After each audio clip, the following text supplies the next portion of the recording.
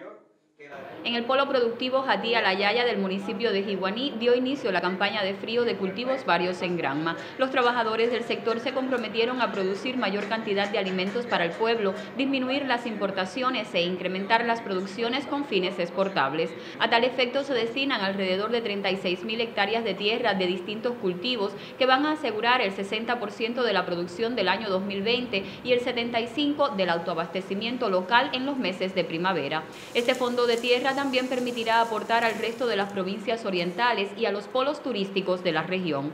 Por la situación económica actual ocasionada por las medidas del gobierno norteamericano contra la isla, los recursos para el sector agrícola son limitados, pero en Granma se buscan alternativas y se asegura una campaña exitosa, sobre todo garantizando productos orgánicos, abasto de agua y disponibilidad de semilla. Granma tiene una peculiaridad que tiene muy poca área bajo riego alrededor del 6% del total. Y la medida de la solución del problema está en enfrancarse a la limpieza de canales de lo que disponemos hoy, de algunas presas, algunas micropresas, para que haya un buen aprovechamiento de los caudales de agua. El tema de la semilla, que es clave para las campañas, eh, está asegurado en la provincia. Todas las semillas agámicas, botánicas y biotecnológicas necesitan las campañas, las tenemos.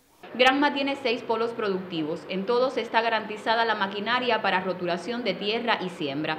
En Granma, Catiusca León, Sistema Informativo de la Televisión Cubana.